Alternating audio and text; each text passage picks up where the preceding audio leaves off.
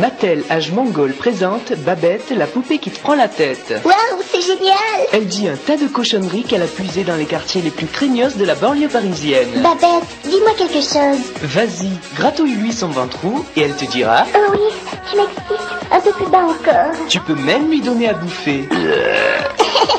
Quelle truiste, Babette Ouais, et en plus elle est dotée d'un système de digestion révolutionnaire.